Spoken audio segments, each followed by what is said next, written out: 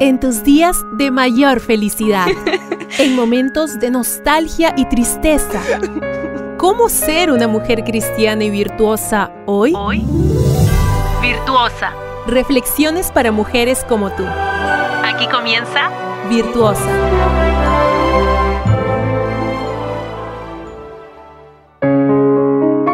Bendecido día para ti, gracias por acompañarme una vez más aquí en Virtuosa.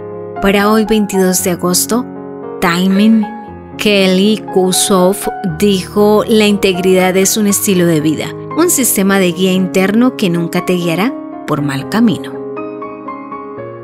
La Biblia deja claro que no hay ningún ser humano perfecto.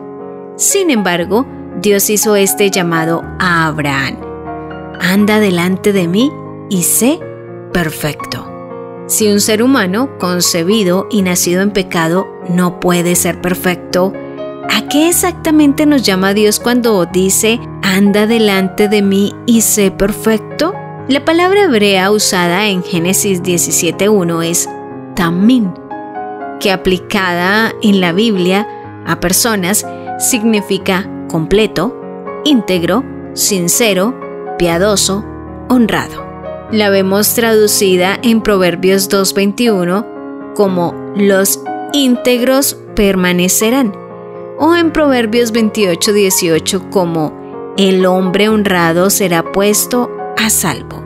El Salmo 101.2 usa esta expresión en la integridad de mi corazón, es decir, también andaré en medio de mi casa.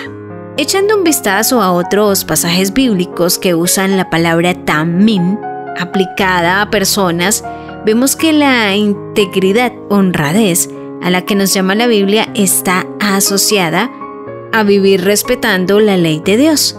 El Salmo 119.1 dice, Bienaventurados los íntegros de camino, los que andan en la ley de Jehová. La Biblia está asociada a no mentir, el Salmo 15.2 dice el que dice la verdad de todo corazón y Amós 5.10 el testigo honrado. La Biblia está asociada a tener un conocimiento profundo de la verdad. Job 36.4 dice, contigo está uno que es íntegro en sus conceptos.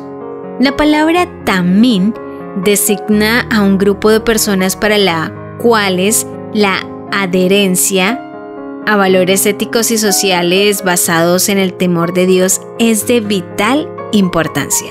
No es ser perfecta en el sentido de no pecar, lo cual, como sabemos, es imposible, sino el de ser íntegra, honrada, porque te adhieres a los principios y valores de la sabiduría que es el temor a Jehová.